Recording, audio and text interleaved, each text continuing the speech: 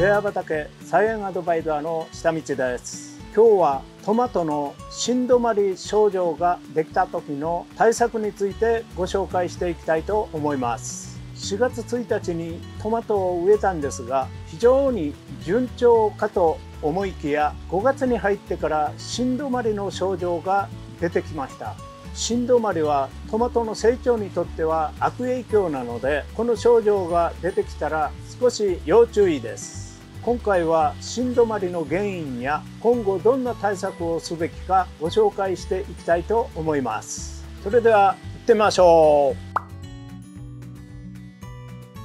今日はあいにくの雨なのでちょっと音がうるさいかもしれませんが現在の状況を皆さんに見ていただきたいのでちょっと雨の中撮影をしております。見極めが大切ですので皆さん参考にしてみてください。このトマトを見てください。茎が非常に太くて葉っぱが青々と四方に広がってるのはわかるでしょうか。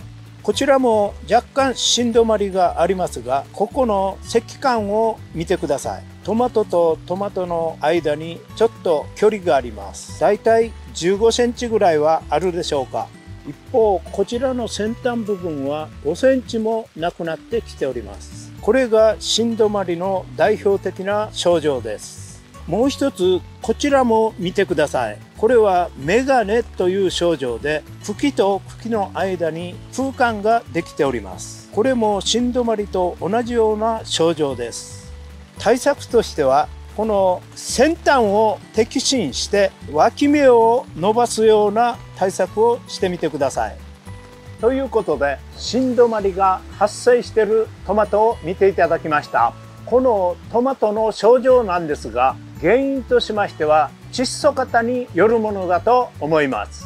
トマトは肥料分を吸収する力が強いので窒素を一気に吸収してしまいますと見ていただいたような振動まりやメガネという症状が出てきます。これが今後どのように影響するかと言いますと葉っぱや茎にどんどん栄養が使われて茎がさらに太くなり葉っぱがさらに青々と茂ってしまいます。俗に言う暴れるという現象が起きてきます。葉っぱが四方に広がって暴れて茂ってしまう症状です。ということで成長点が伸びずにトマトの収穫の段数が落ちてしまう。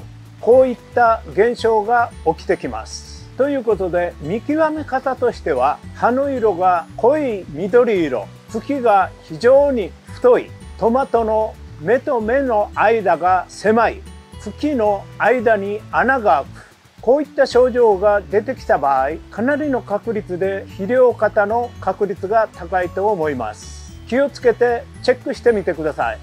ということで原因を紹介していきましたが今回のトマトの栽培においては特に肥料を入れすぎたというわけではありません。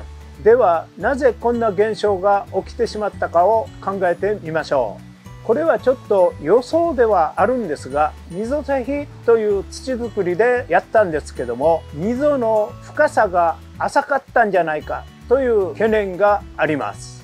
皆さん栽培の本を見ますと溝施肥で栽培しましょうということが謳われております。これはなぜかと言いますとトマトの背がまず伸びるようにあまり窒素は吸収されずに背丈を伸ばす必要があります。最初から窒素が引きしすぎますとこのような現象が起きます。ある程度背丈が伸びてから肥料が引き出すように溝に肥料を入れます。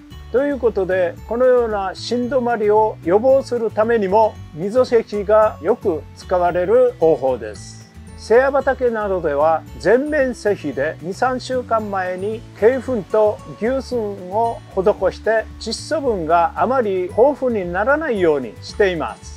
これも一つの方法でいずれにしても最初からどんどん窒素分を吸収しないようにするのがポイントです。今回の事象で言いますと溝の位置が若干浅かった可能性があります。